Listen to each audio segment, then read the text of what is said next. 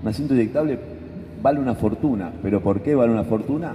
Porque realmente me permite salvar la vida. Tengo una manija inferior y una superior.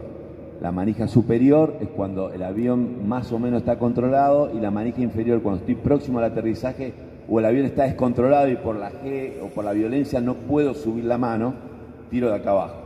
¿eh?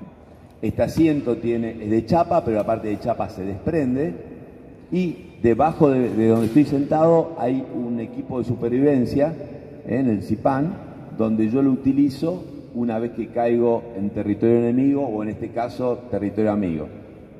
Como estamos cerca de la brigada, normalmente el helicóptero llega y no más, pero muchas veces uno puede caer en un lugar totalmente inhóspito, que se hicimos vuelo por ir a los estados, hasta que lleguen a rescatar ahí, tardamos muchísimo tiempo. Si llego a, la costa con el equipo de supervivencia, por ahí algo puedo utilizar. Pero bueno, está pensado para eso. Llevo equipo de supervivencia debajo de mi cola y acá. ¿eh? Aparte una pistola 38 milímetros, el cuchillo para el paracaídas porque tengo un problema con, los tiros del paracaídas. Así que es bastante completito. Si bien tenemos poco espacio, pero estamos invadidos de elementos que nos van a ayudar.